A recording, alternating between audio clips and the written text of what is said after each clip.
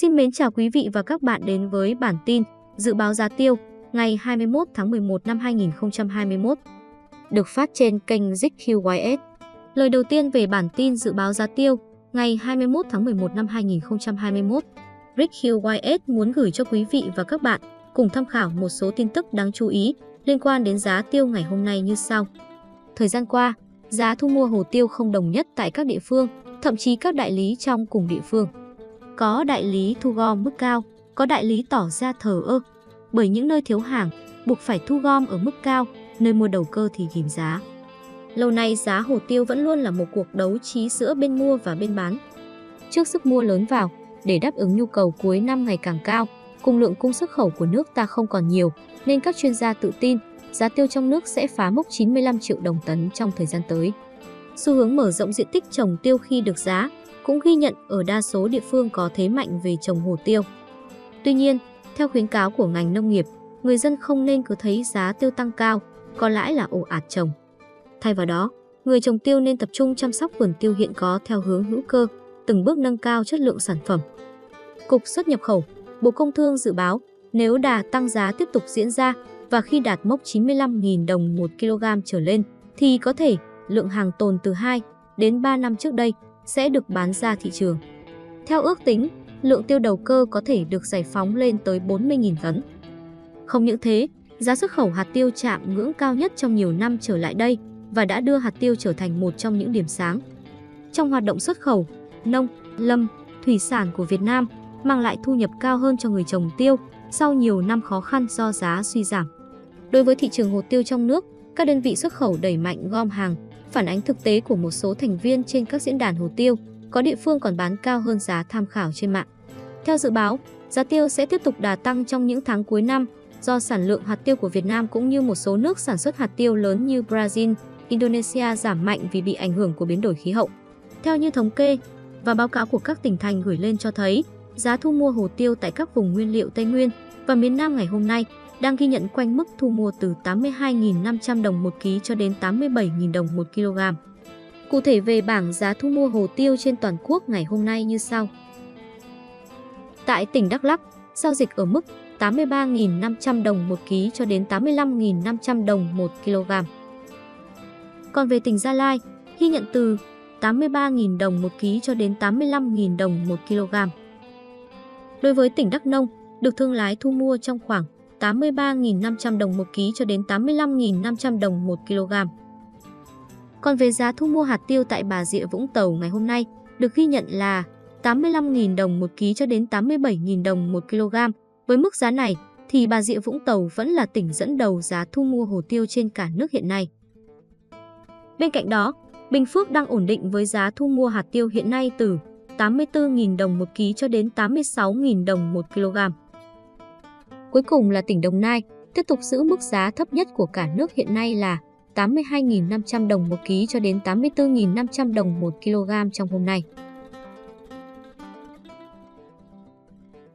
Đối với ngành hồ tiêu Việt Nam, chịu ảnh hưởng nặng nề từ làn sóng Covid-19 đã khiến hoạt động xuất khẩu gặp khó khăn. Bên cạnh đó, giá xuất khẩu của Việt Nam tăng nhanh và mạnh trong các tháng đầu năm nay, khiến cho một số nước có xu hướng chuyển sang nhập khẩu hạt tiêu từ Brazil. Trong thời gian này, các thị trường giảm nhập khẩu hạt tiêu từ Việt Nam bao gồm Hà Lan, Pháp và Nhật Bản.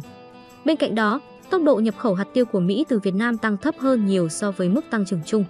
Bù lại, ngành hạt tiêu Việt Nam cũng đã khai thác tốt các thị trường Đức, Nga, Anh, Hàn Quốc và Trung Quốc. Nhu cầu nhập khẩu hạt tiêu của Trung Quốc được dự báo sẽ tăng mạnh vào dịp cuối năm. Điều này sẽ tác động tích cực lên giá hạt tiêu xuất khẩu của Việt Nam trong bối cảnh nguồn cung nội địa gần như đã cạn kiệt và nhiều khả năng lượng hàng đầu cơ từ những năm trước sẽ được bán ra. Theo số liệu thống kê từ cơ quan của Hải quan Trung Quốc, nhập khẩu hạt tiêu của nước này trong 9 tháng đầu năm 2021 đạt sấp xỉ 41 triệu đô la Mỹ, giảm 7,2% so với cùng kỳ năm 2020. Tuy nhiên, nhập khẩu hạt tiêu của Trung Quốc từ Việt Nam trong thời gian này tăng 10,9%, đạt 12,52 triệu đô la Mỹ. Thì phần hạt tiêu của Việt Nam trong tổng trị giá nhập khẩu của Trung Quốc tăng từ 25,66% trong 9 tháng đầu năm 2020 lên 30,54% trong 9 tháng đầu năm 2021. Trong những tháng đầu năm 2021, dung lượng nhập khẩu hạt tiêu của Anh ở mức cao và tương đối ổn định. Đồng thời, mức tiêu thụ bình quân đầu người ở Anh có xu hướng tăng.